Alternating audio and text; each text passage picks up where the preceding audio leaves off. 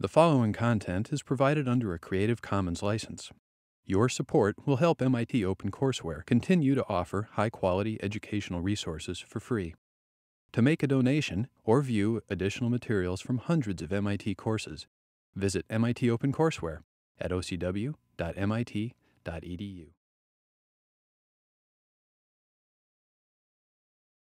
So we're going to continue talking about coding. We're going to focus on uh, linear block codes, which I introduced briefly last time.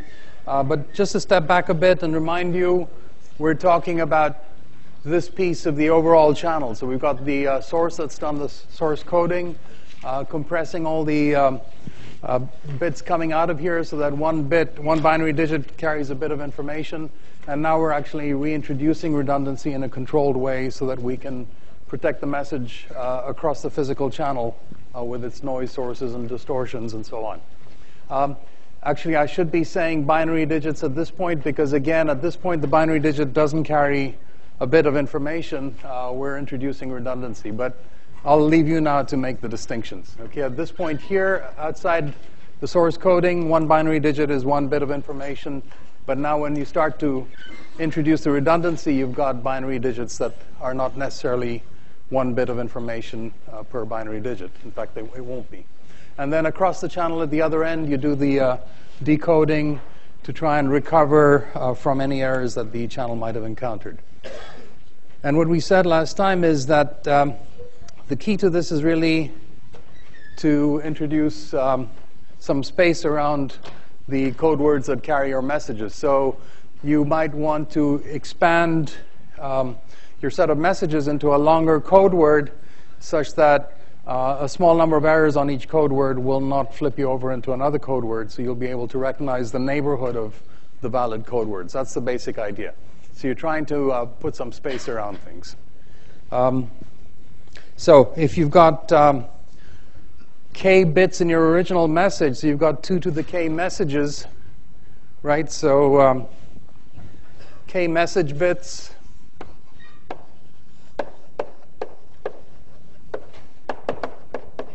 uh, 2 to the k messages. And what we're planning to do now is, uh, with this input stream that's coming into our channel coder,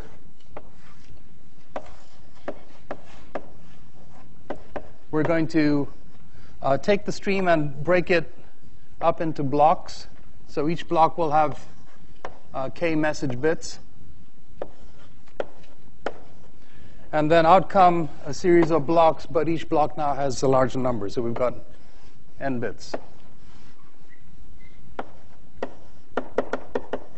Okay, so we've done some padding here. n is greater than k. And so you have the possibility of 2 to the n possible messages in those n bits, but you're not going to use all of them. You're only going to use 2 to the k. And so you'll leave some space around each valid code word. Right, so this is how the, uh, uh, so the code words are selected from uh, 2 to the k code words selected from 2 to the n possibilities. Okay, you get the idea there? Yeah. And we introduce this notion of Hamming distance then. Um, to measure the size of the neighborhood around the code word. So uh, we have the notion of a Hamming distance.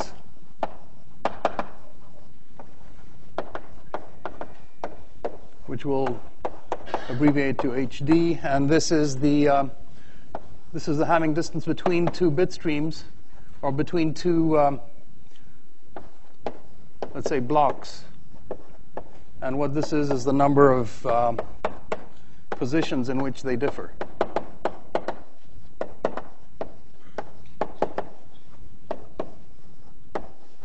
Okay? So it's a very um, simple notion of distance between bit strings or binary digit strings. All right. And what we then said is you get certain desirable error detection and error correction properties um, based on the minimum distance, the minimum Hamming distance of a code Um, we use the symbol little d for that. That's the minimum distance you find between any two code words in the code. All right. So based on that, we said that uh, we wrote it slightly differently last time. I'm writing it to give you yet another way to think about it. What we basically said is, for instance, uh, if you had valid code word here, valid code word here, this is just a schematic, right? One hop meaning one bit change brings you to some other word, which is not a code word. Then another bit change brings you to some other word, not a code word. And a further one brings you to a new code word. That's Hamming distance 3. Um, so if the minimum distance you find among all the uh, spacings between code words is a distance of 3, measured as a Hamming distance, then you can uh, detect up to two errors, right? So if you went from this code word um, in two hops, you'd still not be at a new code word, so you'd know you've made a mistake. If you wanted to correct errors, you could correct up to one error in this case, if you, assuming that you have no more than one error. Um, if you ended up here, you'd know it had to have come from this code word. If you ended up here, you know it had to have come from uh, the code word on the right. Now you have to be a little careful if you're trying to do correction and detection at the same time. So for instance, um, if you end up over here, and if it's possible to get up to two errors, then uh, you might think you've had one error that brought you here, and you might correct to this point. But if what you actually, the way you actually got there was two hops from over here, then you've done an incorrect correction.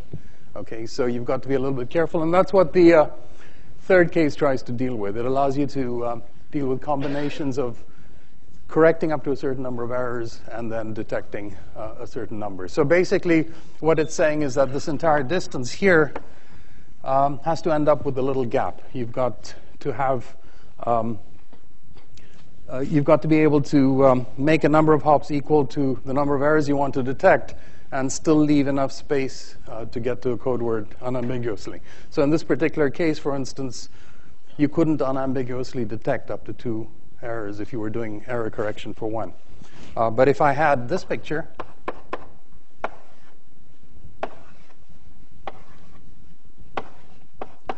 okay, this is now Hamming distance four. One, two, three, four.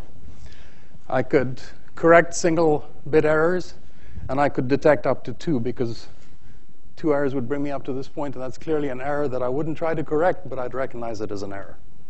Okay? So that's what that third case tries to account for. You won't believe how much time I spent trying to distill that statement down into a bullet, and I don't know if I got it right yet, but uh, that's the idea. Okay, so our focus today is on linear block codes. We're not talking about codes in general, but linear codes. Um, this would be a general statement for a block code. I haven't said anything about linearity up to this point. All I said was take blocks of k bits, expand them to blocks of n bits, um, and pick uh, subsets in this fashion. That's just a general statement about coding. It, there's nothing linear about this as stated. So if you want to impose linearity, then you've got to introduce this additional piece, which is to say that um, every bit in your code word is going to be a linear combination of bits from your message. And the easiest way to understand that is the uh, the matrix representation I had last time. Do I have it on this slide? Not yet? Okay. Um, but I probably do on the next, so let me put that up. Um, okay, so basically, uh, you're going to generate your code words C. So that's uh, C1 up to Cn is going to be uh, d1 up to dk times some matrix, which is uh, k times n matrix, and we'll call it G. Okay, so that's referred to as the generator matrix for the code. We're talking about binary code, so this is, all of these are zeros or ones, and all of these entries are zero or one. And all computations are done in GF2. They're done modulo 2. So matrix multi. Well, let me just say that all operations are in GF2.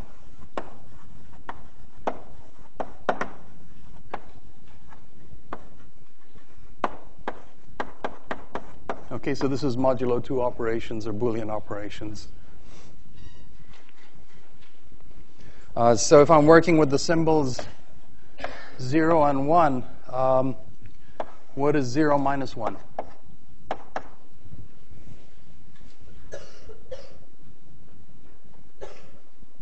How am I to interpret this? I haven't quite defined it, but how would you interpret that?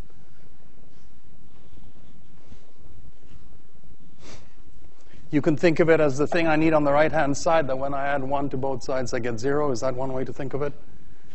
So 0 minus 1 is 1, or another way to say that is minus 1 is the same as plus 1 in this setting.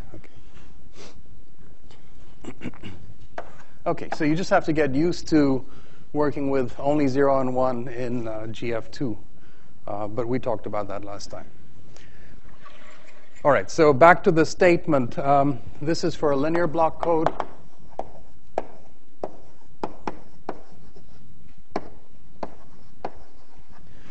You're going to see matrix multiplication throughout your careers here. Uh, so if you haven't already seen them, this is a good opportunity to uh, learn about matrix multiplications. So let's see. Could somebody tell me what procedure I go through to, let's say, get the ith position here in terms of what I do on the right-hand side if I want to get the ith position on the left-hand side? What's the uh, operation that I'm thinking of? Or let me ask you this. Is the entire matrix G relevant when I'm just interested in the ith position here? Or is there some part of G that's what I should focus on? Yeah. It's just the ith column, right? So we think of matrix multiplication as sort of being, in this, uh, in, in the simple case, if you want the ith position here, it's kind of the dot product of this row with the ith column. Okay, so if you want the ith position here, let me give you a particular example if I've got 1011 here and I have 1100 here, then this position is going to be, this is in the ith column.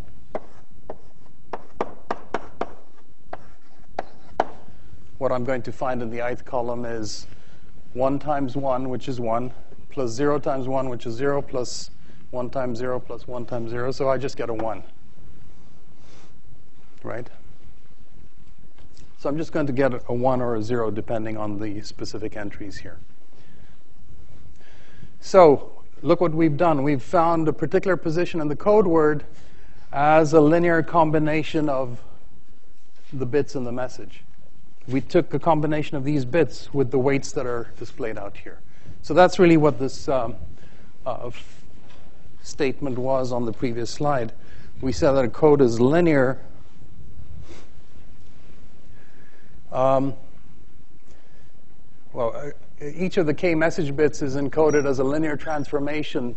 Uh, sorry, each of the code bits is encoded as a linear transformation of the message bits. So I didn't quite say it that way there. Let me say it here on this slide. So each code word bit is a specified linear combination of the message bits. This is what I'm referring to. If you wanted to find any particular bit, you're going to take a linear combination of these bits with the weights that are here. Okay? There's another way to think of this also, which is the other blue line out there.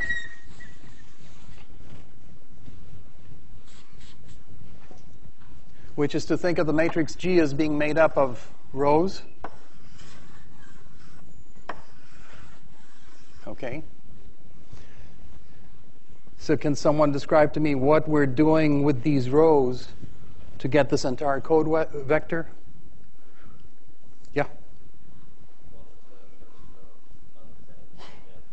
Okay.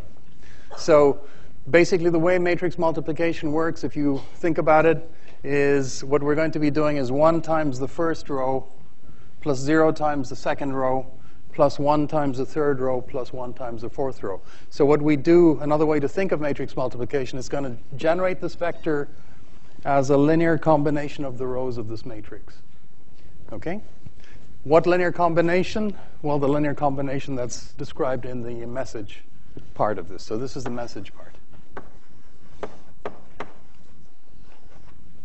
So that's the other uh, statement out here. So each code word is a linear combination of the rows of this generator matrix. All right?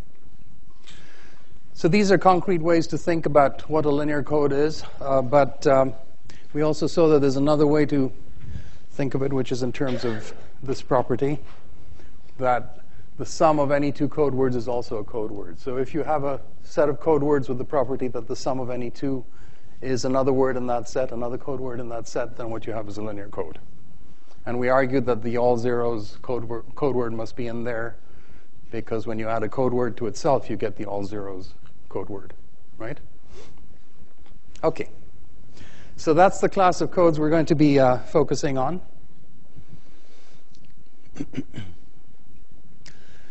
but I'm going to make a further restriction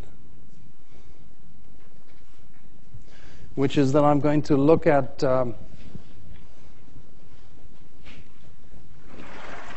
code words that are of a very special type. So I'm going to limit myself to code words that have this structure.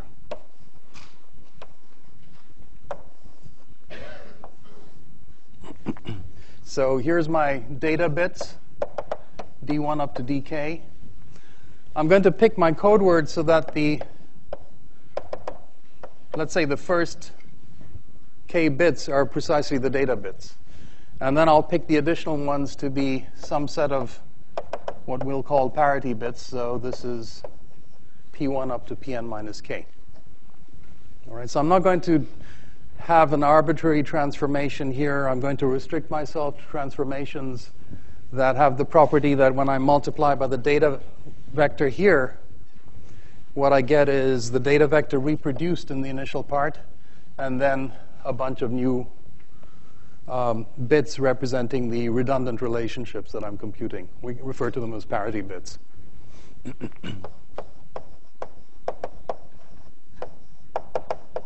it's not so important uh, that the data bits be in the first k positions. I'm willing to tolerate variations of this where the data bits are somewhere in this code vector. But the key thing about what's called a systematic code is that when I look at the code word in designated positions, I find the data bits, and the other positions are these so-called parity bits that are obtained as linear combinations of uh, the data bits. Okay?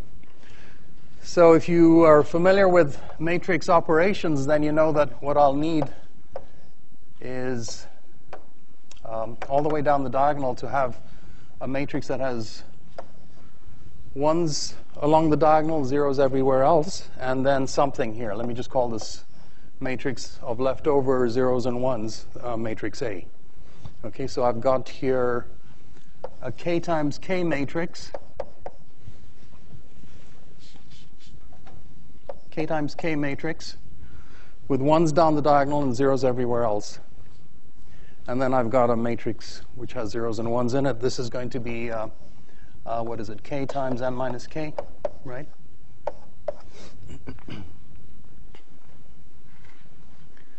So do you buy this? So think about how matrix multiplication works. If I want the first column on the left, I take this row inner product or dot product with the first column here.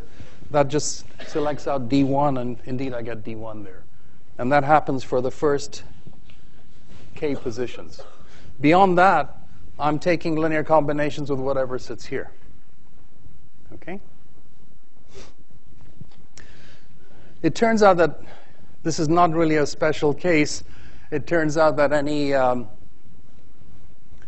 code, any linear code can be transformed um, to this form by invertible operations. So basically, if you use invertible operations on the rows here and some rearrangement of the columns, you can bring any code to this form.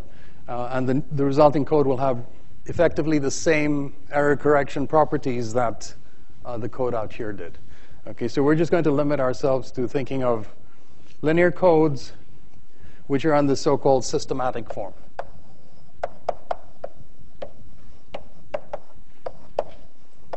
In other words, some part of the code word is the message bits, and the other part is parity bits. Okay?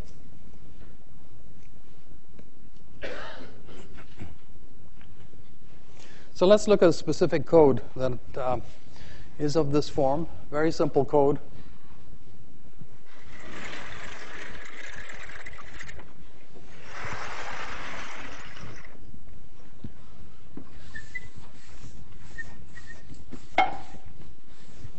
Referred to as a rectangular code. And you see a particular example on the slide here. So what do we do? Um, we arrange our data bits into a matrix, which could be rectangular or square, depending on what you have. So we're going to have R rows and C columns.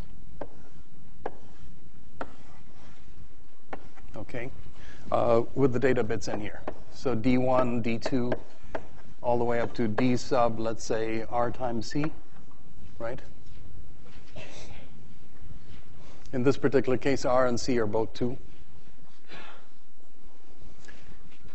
Uh, and then you're going to generate the parity bits in this simple fashion. What you're going to do is choose a parity bit associated with the first row uh, that basically makes sure that in the first row, including the parity bit, you've got an even number of ones.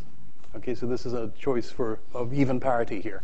Similarly, in, uh, P2 will be chosen such that the second row uh, has even parity. In other words, you've got an even number of ones there. Um, and for the columns, similarly, uh, P3 will be chosen such that uh, D1 and D3 and P3 together have even parity. In other words, the, the number of ones uh, in that column is even. Again, the same thing for this column. So what you're trying to do is sort of have sentries on the rows and columns that will signal when something has happened to um, a bit of the intersection. That's the general idea here. All right? So you'll take this out and arrange it then. So you've got your parity bits. Um, what's the sequence I used? P1, P2. And then more parity bits here.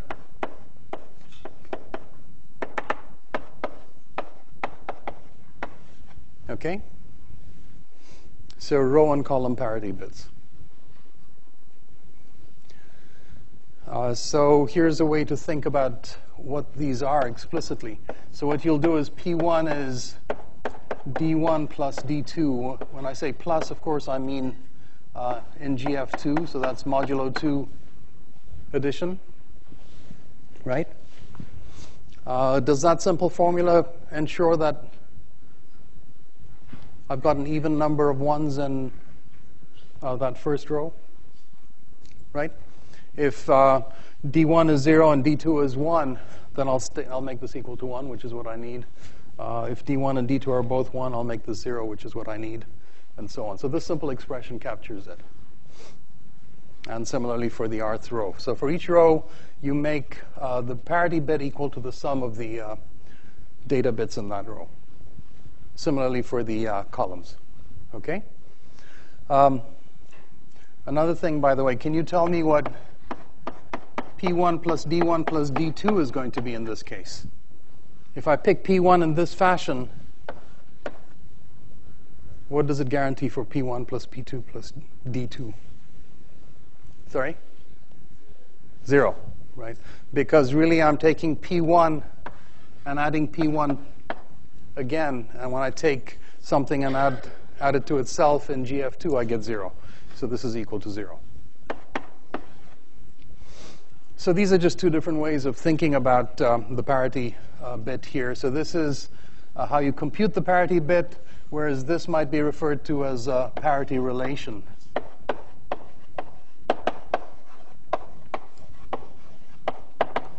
It's a linear constraint relating the parity bit and the data bits. In fact, we might try constructing this matrix as we go, right? So we've got um, D1, D2, D3, D4, P1, P2, P3, P4. Oops. And here's D1, D2, D3, D4. I'm going to have my generator matrix here. It's got the identity matrix in this first part. We use the symbol capital I for identity matrix.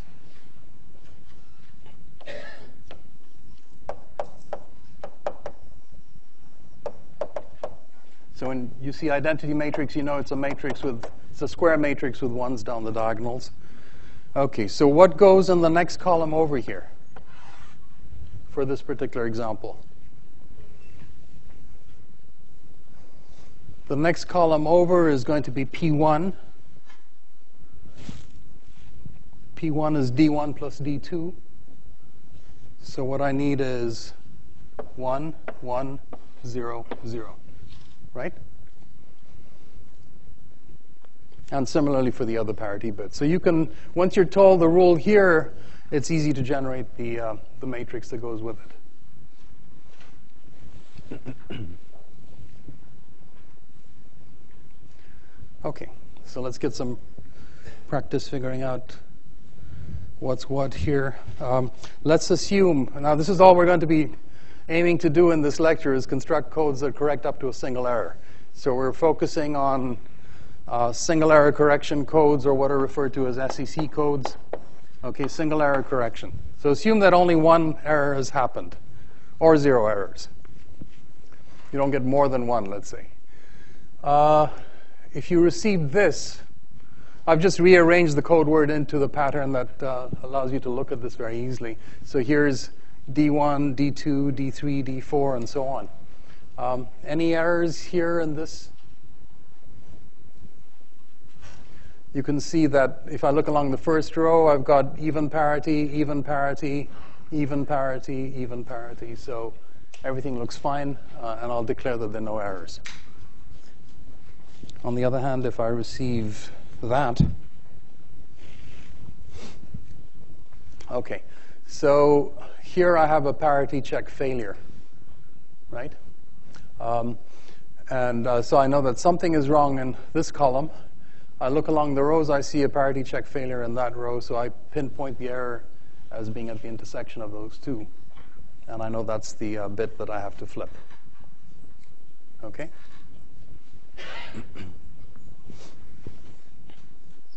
and another case.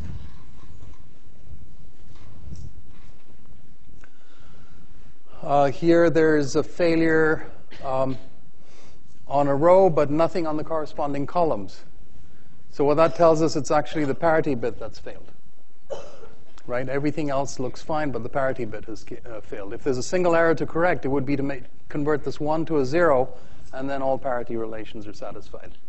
Okay, so you can get errors in the parity bits as easily as you get them in the data bits because the channel doesn't know the difference. The channel is just seeing a, seeing a sequence of bits. All right, so this is how you work backwards um, to figure out what's going on.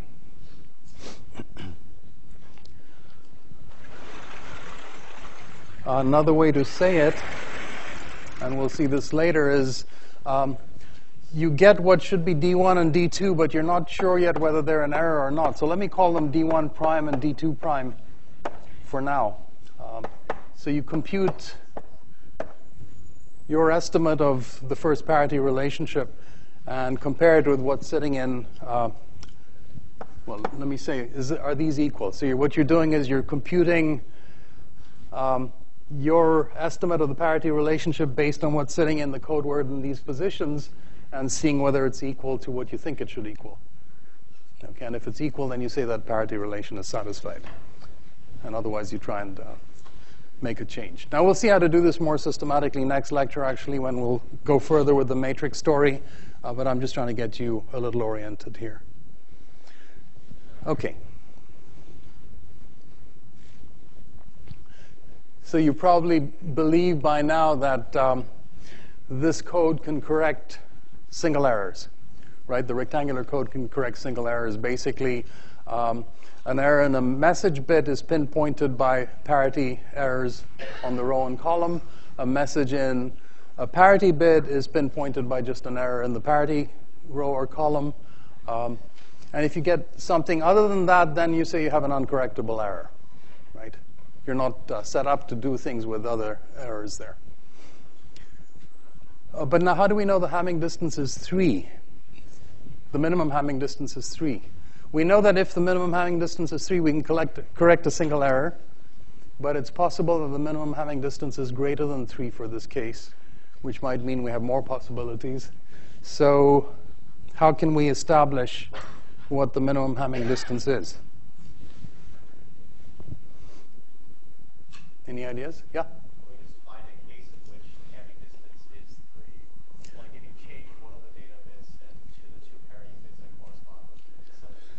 Okay, so um, am I going to search all pairs? So the suggestion was change something till you till you find a Hamming distance of three, um, and presumably you won't find anything smaller, right? Okay, because we know we can correct single errors. But am I going to search through all pairs of code words um, to do this, or can I do something better?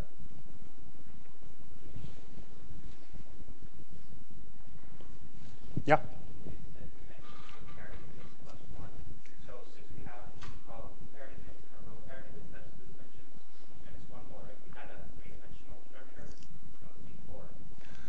Uh, but uh, so you're giving me a, a, particular computation here, but I don't know that you've answered my question, which was, am I going to have to search through all pairs of code words to see that I can establish a minimum distance of three, or is there something simpler than that that I can do?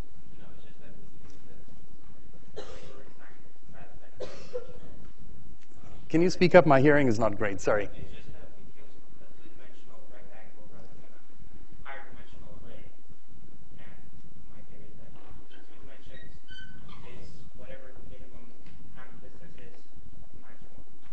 Oh, so you've got a general formula. Okay. Um, can you invoke linearity in some way? Because I haven't heard you use the linearity of the code in anything you've said. Were you going to offer a suggestion? Yeah.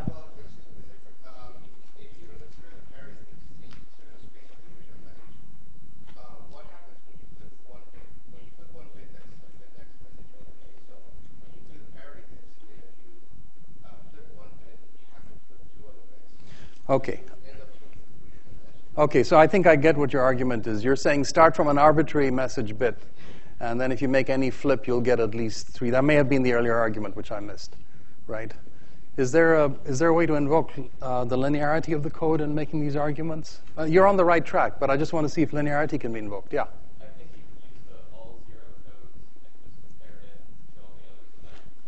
Right. So what we've established is that for a linear code, the minimum Hamming distance is the minimum weight among all non-zero vectors, right? So all you have to do is start with the zero code word, everything zero, and then flip a bit and see, um, uh, flip a bit and see, uh, flip a bit in the message, okay, and then see if you get uh, Hamming distance uh, three or greater. Okay, so we can start with the zero code word. I guess that's the point I was going to make here. Okay. Um, there is another expression that popped up there before completing that argument. Do you agree with what it said about the code rate? It says the code rate is RC over RC plus R plus C. Is that, do you agree with that? Yeah. Because we have um, the number of message bits being RC, and then the total number of bits is RC plus r plus c. So the rate is indeed what's given by that expression. Okay, and then we'll go on to make this argument about um, the three cases here. So you can actually go case by case, and um, the argument here is actually closer to what was being described out there. It doesn't start with the, the zero message, but it says if you've got two messages that differ in one bit in the message area, then they're going to differ by one bit in the associated parity areas, and therefore the overall code word has moved by three. Uh, and then you go through each of the cases and you argue that you've um, moved by at least three. So this argument is actually closer to what uh, was being suggested earlier. Okay, so you can go through each of the cases and discover that um, the, the nearest code word you can get to is uh, Hamming distance three away. All right. Why is it that we're flipping a bit in the uh, message section to decide what's a, a new case? The way we count our code words is by ranging through all the possible 2 to the k, right? So we've got to flip bits in the data section to get to another code word. So we're saying we have a code word corresponding to some set of data bits. We'll flip a bit there uh, and then look to see what happens. Okay? okay, so um,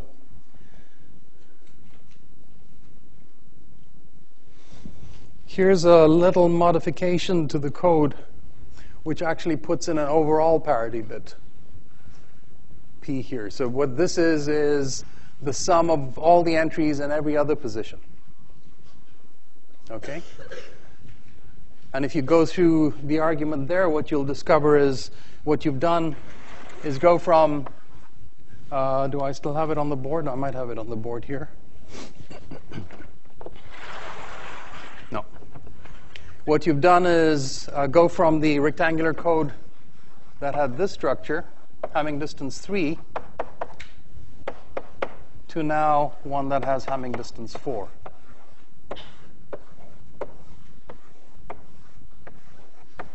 Okay, so adding that overall parity bit has increased the minimum Hamming distance of the code from 3 to 4. Uh, does that improve error correction capabilities? You still can only correct up to one error. But the difference now is that if you get two errors, you can actually detect it accurately as a two-bit error. Okay. All right, so I'll leave you to go through that uh, analysis. Um, this we've pretty much done already. This has just filled out the rest of the matrix. You see that we filled out this column on the board. Uh, that was this case. but you can actually fill them all out uh, once you have the uh, description of the parity check bits. Okay, so um, these other columns you can fill out similarly. And this is for the case of, uh, let's see, what case is it referring to here?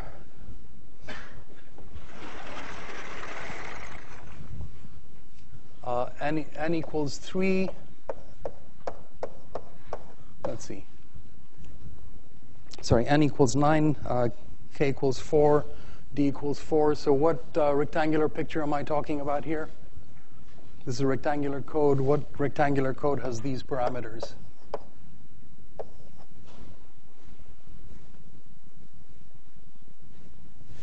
So I must be talking about 2 by 2 for the data bits, two rows, two columns, and then one overall, right? The overall, what gives me the clue is I've got a minimum distance of 4. If it's a rectangular code with minimum distance 4, then I know I must have an overall parity bit. Um, K is 4 because I just have um, 4 data bits. And overall, I've got to send uh, 9 bits in each block. Okay? So for that particular case, this is what the uh, matrix looks like. So the only difference is there's an overall parity bit here, P5, uh, which is the sum of all the data bits. Actually, all the data bits and the parity bits, but this is what it uh, works out to be. Okay. Um, and we've pretty much talked through the decoding here. It's let me put it all up there. Um, so you calculate all the parity bits. Uh, if you see no parity errors, you return all the data bits. If you detect a, a row or column parity bit error, then you um, uh, then you make the change in that particular position, and otherwise you flag an uncorrectable error. So the correction is straightforward. Uh, if you look on the slides later, you'll see a little quiz that you can try for yourselves, or you might try it in recitation. Um, but let me pass on that. Okay. So the question arises is a rectangular code using this redundant information in an efficient way? Um, or could we do better? So let's see, we've got a code word that has,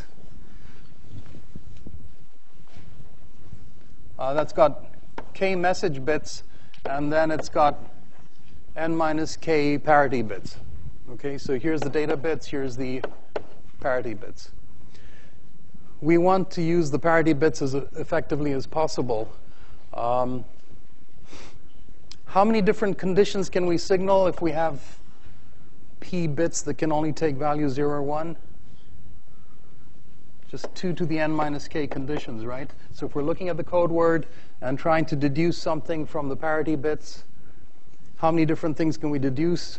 Well, n minus k bits can signal 2 to the n minus k different things, right? What do they have to signal? What do the parity bits have to tell us?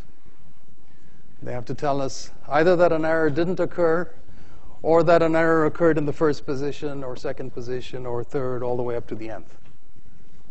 So the number of things we want to learn from the parity bits is n plus 1. So you would hope uh, that that this is true, that the number of things you can signal with the parity bits is at least equal to the number of things you want to get in the case of single error correction. All right, we're only trying to correct a single error here. So we want the number of possibilities that the um, parity bits can indicate to include the case of no errors, that's the one over there, plus the case of an error in the first position or second position or third position and so on. Okay? If you uh, plug in the typical parameters for the rectangular code, you'll see that you're actually uh, exceeding this wildly. Let's see. Uh, for that particular case, 944, what do we have? We have 9 plus 1 on this side, and we have 2 to the what? 9 minus 4. So what's that? 32 on the right-hand side and 10 on the left? So you've got a big gap. If you were going to allow me one, two, three, four, five parity bits, I could do a lot more than tell you what you're asking me to tell you from this uh, in this particular code. So I'm not using the parity bits as efficiently as I could. And that motivates the search for, um, for better choices. So um, this is a fundamental inequality here, uh, something we'll keep referring back to. Uh, so make sure you understand where that comes from.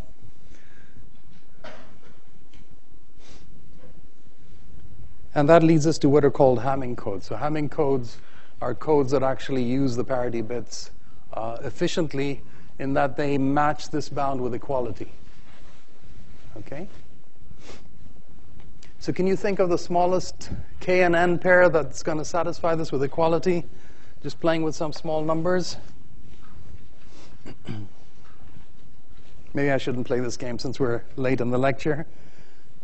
Here's a suggestion. Okay, NKD. The Hamming code is going to be a single error correcting code with Hamming minimum Hamming, Hamming distance 3, so the 3 will always be there. This is N, and this is K, and you'll see that this is satisfied with equality. Um, but there are other choices. This is the smallest such choice, the smallest non-trivial choice anyway. Uh, but you can go to more general uh, possibilities. So this code is called a perfect code because it matches uh, that inequality with equality. But actually, that doesn't necessarily mean it's a it's the best code. It, it turns out to be a good code provided uh, you're picking these parameters appropriately for your application. Uh, but this is perfect code in a very technical sense, meaning it's a code that attains this inequality with equality. Okay, that's all that it means there. Okay, so what's the idea on the Hamming code?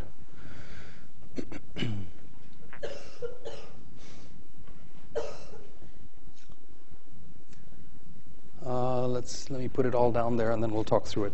So the uh, this little Venn diagram uh, conveys for you how the um, parity bits are picked, and they end up actually being picked in a very efficient way to provide the uh, coverage you want. So this is the case that uh, was mentioned before. This is the um, what was it?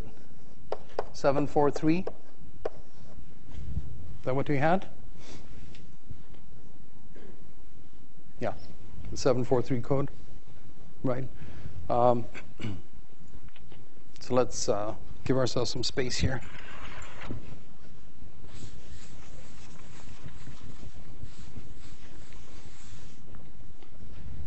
So with three parity bits, we're actually going to indicate whether there was zero error or whether the error occurred in the first, first position, second position, and so on, all the way up to uh, the seventh position. So we're going to use three bits, three parity bits, to in indicate eight possibilities, which is what we know you should be able to do. And here's the arrangement. This picture conveys it. So basically, P1 is D1 plus D2 plus D4. So P1 fires if D1, D2, or D4, um, or if any one of those is 1, and similarly for these other things. Okay, so uh, this picture tells you what data bits are included in the coverage of each parity bit. Okay, so that's a way to think of what this picture is. Um, so these are apportioned carefully. Uh, so for instance, let's see. If you discover that P1 and P3 indicate an error, that means some data bit in the coverage of P1 and in the coverage of P3 um, have an error. But P2 didn't have an error. Okay, so what does that tell you? We're only considering up to single errors. If P1 and P3 have an error, but P2 doesn't have an error, well, P1 and P3 share D2, D4, but P2 didn't have an error, so D4 must be fine, so D2 must be the one that's an error. Okay, and so you get full coverage by that kind of reasoning. One way to think of this, and this is actually how Hamming set it up, was um, he actually arranged the uh, parity bits and the data bits a little differently down that uh, code word. He had parity bit 1 in the first position, parity bit 2 in the second position, parity bit 3 in the fourth position. If you had a long code word, the next one would be in the eighth position. So it's 2 to the 0, 2 to the 1, 2 to the 2, 2 to the 3, and so on. So those are the positions in which he puts the parity bits. Everywhere else are the data bits. And then the um, data bits that feed into parity bit P1 or parity, parity relation P1 are the data bits in positions that end with a 1. Okay, so if the positions end with a 1, you stick them in, this, in the coverage of this parity relationship. So D1, D2, not D3, but D4. Uh, for P2, similarly, if, if um, a parity relation uh, sorry, the parity relation P2 includes the data bits that have a 1 in their second position. So D1, not D2, yes D3, and yes D4. Okay, so the nice thing about that is that when you get a particular um, pattern of errors, it actually leads you exactly to the right position in the uh,